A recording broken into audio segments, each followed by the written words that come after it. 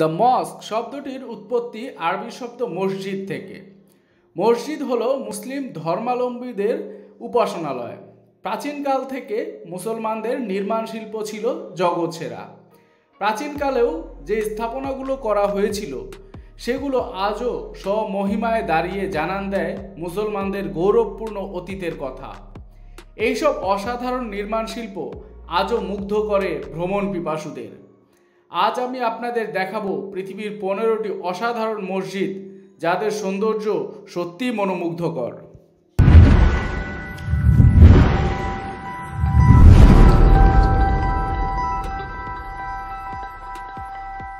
শেখ জায়েদ মসজিদ আবুধাবি শেখ জায়েদ মসজিদ সৌদি আরবের রাজধানী আবুধাবিতে অবস্থিত।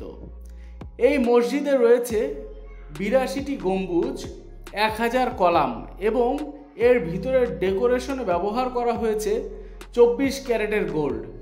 এই মসজিদের মেঝেতে করা হয়েছে বিভিন্ন কারুকাজ, যা সবই হাতে করা এবং এর জন্য ব্যবহার করা হয়েছে ইতালির মার্বেল পাথর। এর পুরো উঠানে মোজাইক করা হয়েছে এবং এই মসজিদের উঠান পৃথিবীর অন্যতম বৃহৎ উঠান। এছাড়াও মসজিদের চারিধারে একটি রিফ্লেকটিভ পুল রয়েছে। যা এর সৌন্দর্যকে কয়েক গুণ বাড়িয়ে দিয়েছে। এই মসজিদকে পৃথিবীর সবচেয়ে সুন্দর মসজিদ বললেও ভুল হবে না। পুত্রা মসজিদ মালয়েশিয়া। পুত্রা মসজিদ তৈরি করা হয়েছে গ্রানাইট পাথর দিয়ে। এই মসজিদের নির্মাণে ব্যবহার করা হয়েছে মধ্যপ্রাচ্যের কিছু ডিজাইন এবং মালয়েশিয়ার ঐতিহ্যবাহী কিছু ডিজাইন। এই মসজিদে গম্বুজগুলো তৈরি করা হয়েছে বিশেষভাবে এবং গম্বুজে যুক্ত করা হয়েছে জানালা। এই মসজিদটি তিনটি ভাগে বিভক্ত করা হয়েছে। নামাজের স্থান, উঠান, পড়াশোনার জায়গা এবং অনুষ্ঠানের জায়গা। পুত্রা মসজিদ মালয়েশিয়ার সবচেয়ে সুন্দর মসজিদ এবং এটা দেখতে প্রচুর পরিমাণ ট্যুরিস্ট প্রতিদিন আসে। ব্লু মস্ক ইস্তানবুল, তুর্কি। সুলতান আহমেদ মসজিদকেই ব্লু মস্ক বলা হয়ে থাকে। এর কারণ, এই মসজিদ নির্মাণে ব্যবহৃত নীল পাথরের। এই মসজিদটি এশিয়ার সবচেয়ে সুন্দর মসজিদ। এই মসজিদের বাইরের দিক হয়তো আপনাকে এক দেখায় আকৃষ্ট নাও করতে পারে। তবে এর ভিতরের কারুকাজ দেখলে যে কেউ অভিভূত হয়ে যাবে। এতে ব্যবহার করা হয়েছে বিশ হাজার নীল টাইলস। এর মধ্যে সবুজ গম্বুজের পাশে চারিদিকে রয়েছে চারটি হাফ গম্বুজ। এই মসজিদের রাতের বেলার সৌন্দর্য মুখের ভাষায় প্রকাশ করা সম্ভব নয়। দ্য গ্রেট মস্ক অফ জিয়ান। চীনা সভ্যতার এবং ইসলামিক ধ্যান ধারণার সম্বন্ধে তৈরি করা হয়েছে এই গ্রেট মস্ক অফ চায়না।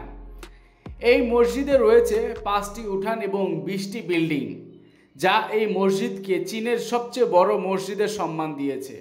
এর নির্মাণশৈলী থেকে প্রাচীন চীনের নির্মাণশৈলী সম্পর্কে অনেক তথ্য পাওয়া যায়। সুলতান ওমর আলী সাইফুদ্দিন মস্ক। সুলতান ওমর আলী মসজিদটি অবস্থিত ব্রুনাইতে। এটি আর্টিফিশিয়াল লেগুন দ্বারা পরিবেষ্টিত। সুলতান ওমর আলী মসজিদ পৃথিবীর অন্যতম সুন্দর একটি মসজিদ। মসজিদটির ভিতরের সাজসজ্জা যেমন সুন্দর, তেমন দামি। এর মেঝে তৈরি করা হয়েছে ইতালিয়ান মার্বেল পাথর দিয়ে। মসজিদের গোল্ডেন গম্বুজ তৈরিতে ব্যবহার করা হয়েছে পিওর গোল্ড। এটা শুধু দিনে নয়, রাতের বেলাতেও উজ্জ্বল থাকে। Sultan Qaboos grand mosque. Sultan Qaboos বর্তমান নির্মাণ শিল্পের এক অনন্য দৃষ্টান্ত। এর ভিতরে সাজসজ্জায় ব্যবহার করা হয়েছে হালকা এবং ধূসর মার্বেল পাথর। এই মসজিদের ব্যবহার করা হয়েছে ষাট হাজার ক্রিস্টাল এবং চব্বিশ ক্যারেটের গোল্ড। এর অন্যতম বিশেষত্ব এর কার্পেট। এই কার্পেটের ডিজাইন একদম অন্য মাত্রার সৌন্দর্য দিয়েছে মসজিদটিকে। এই কার্পেট পৃথিবীর দ্বিতীয় বৃহত্তম carpet. Nasir al Mulk mosque. Nasir al Mulk মস্কটি ইরানে অবস্থিত। একে পিঙ্ক মস্ক নামেও ডাকা হয়। বাইরে থেকে দেখলে একে সাধারণ মসজিদের মতোই মনে হয়। তবে এর ভিতরের অংশ দেখলে বুঝতে পারবেন কি অসাধারণ নির্মাণ শৈলী ব্যবহার করা হয়েছে এই মসজিদে। এই মসজিদে ব্যবহার করা হয়েছে ইসলামিক নির্মাণ শৈলী, তার সাথে নীল টাইলস। একে আরও অসাধারণ করেছে এর দেয়ালে কোরআনের আয়াত। এই মসজিদটিকে আসলেই এক অনন্য অবস্থান দিয়েছে। এর পার্সিয়ান কার্পেট রয়েছে পুরো মেঝে জুড়ে। এক কথায় অসাধারণ সুন্দর এই মসজিদটি। Hassan two mosque. Hassan two mosque অবস্থিত মরক্কোতে। হাতে কাটা পাথর, জটিল মোজাইক, টাইলসের কাজ এবং মরক্কোর নির্মাণশৈলী মসজিদটিকে অনন্য সুন্দর করে তুলেছে। এই মসজিদটি আটলান্টিক সাগরের পাশে অবস্থিত। এখানে রয়েছে সাতশো ফিট লম্বা মিনার, যেটা পৃথিবীর দ্বিতীয় বৃহত্তম মিনার। এই মসজিদে আরও রয়েছে মাদ্রাসা, মিউজিয়াম এবং একটি লাইব্রেরি। তিলকারি মাদ্রাসা এবং মসজিদ। তিলকারি মসজিদ অবস্থিত উজবেকিস্তানের মরুভূমিতে। এই মসজিদে ব্যবহার করা হয়েছে নীল টাইলস, যা একে দিয়েছে এক অপার্থিব সৌন্দর্য। এটা তৈরি করা হয় ষোলোশো ষাট সালের দিকে এবং এর কারুকাজগুলো আধুনিক এবং প্রাচীন মিলিয়েই করা হয়েছে। তানকু মিজান জয়নাল আবেদিন মস্ক। এই মসজিদটি মালয়েশিয়াতে অবস্থিত। এই মসজিদটিকে আয়রন মস্ক নামেও ডাকা হয়। এটি মালয়েশিয়ার পুর্তুজায়াতে অবস্থিত। এর জায়গা প্রায় সত্তর পার্সেন্ট বাড়ানো হয়েছে স্টিল দিয়ে, যা আমদানি করা হয়েছে চীন এবং জার্মানি থেকে। এই মসজিদটি তৈরি করা হয়েছে প্রচণ্ড শক্তিশালী করে। সৌন্দর্যের দিক দিয়েও এটা কোনো দিক দিয়ে কম নয়। হায়া সোফিয়া মস্ক। হায়া সোফিয়া মস্ক তুরস্কের ইস্তানবুলে অবস্থিত। গ্রিক ভাষায় হায়া সোফিয়া মানে জ্ঞান। এটা পৃথিবীর অন্যতম বৃহৎ এবং সুন্দর বিল্ডিং। এই মসজিদে বিশাল বিশাল গম্বুজ আছে এবং তার পাশ দিয়ে রয়েছে আরও অনেক গম্বুজ। মসজিদটি এত বড়, একে কয়েক মাইল দূর থেকেও দেখা যায়। এই মসজিদের সিলিং পুরোটাই স্বর্ণ দিয়ে ডিজাইন করা। আর এর মেঝে তৈরি দুর্লভ মার্বেল পাথর দ্বারা। প্রথমে এটা একটি চার্চ ছিল, পরে একে মসজিদ ঘোষণা করা হয়। বর্তমানে এটা একটা মিউজিয়াম হিসাবে আছে। তবে যত যাই হোক, এর সৌন্দর্য সত্যি অসাধারণ।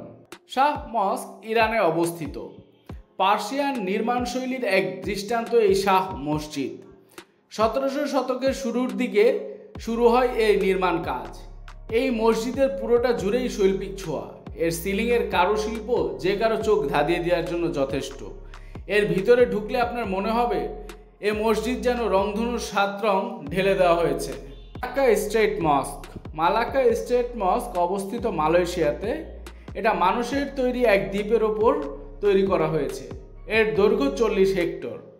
এই মসজিদের আসল সৌন্দর্য দেখা যায় সন্ধ্যাবেলায়। সন্ধ্যাবেলায় গধূলিতে এই মসজিদ যেন অন্য এক রূপ ধরে। এটা রাতে দেখতে অনেকটা লাইট হাউসের মতো বলে মনে হয়। মসজিদ ইন্ডিয়া। এটা ষোলোশো ছাপ্পান্ন থেকে শাহজাহানের আমলের মধ্যে তৈরি হয়েছিল। মার্বেল পাথর আর লাল পাথর দিয়েই বানানো হয় এই পুরো মসজিদটা। চব্বিশ হাজার লোক এখানে একসাথে থাকতে পারবে। এই মসজিদটি যেন প্রাচীনকালের সাক্ষী হয়ে নিজের অবস্থান প্রকাশ করছে। শাহ আলম মস্ক। শাহ আলম মস্ক মালয়েশিয়াতে অবস্থিত। এটি পৃথিবীর অন্যতম বৃহৎ একটি মসজিদ। সাউথ ইস্ট এশিয়ার মধ্যে এটা দ্বিতীয় বৃহত্তম মসজিদ। এই মসজিদে প্রচুর নীল টাইলস ব্যবহার করা হয়েছে। একে ব্লু মস্কো বলা হয়। এই মসজিদের মিনারগুলো পৃথিবীর সব থেকে উঁচু মিনার। এখানে চব্বিশ হাজার লোক একসাথে নামাজ পড়তে পারে। কেমন লাগল আজকের ভিডিও? আমাদেরকে কমেন্ট করে জানান। আর ভালো লাগলে অবশ্যই অবশ্যই অবশ্যই ভিডিওটি শেয়ার করবেন। অসংখ্য ধন্যবাদ সবাইকে এতক্ষণ ধৈর্য ধরে আমাদের ভিডিওটা দেখার জন্য, নতুন নতুন ভিডিও পাওয়ার জন্য। অবশ্যই আমাদের চ্যানেলটা সাবস্ক্রাইব করতে হবে এবং লাইক, কমেন্ট করে অবশ্যই সাথে থাকবেন। আর বেল বাটনটা প্রেস করে রাখবেন যাতে আপনি নিত্য নতুন আপডেটগুলো পেয়ে যেতে পারেন। ধন্যবাদ সবাইকে, ভালো থাকবেন।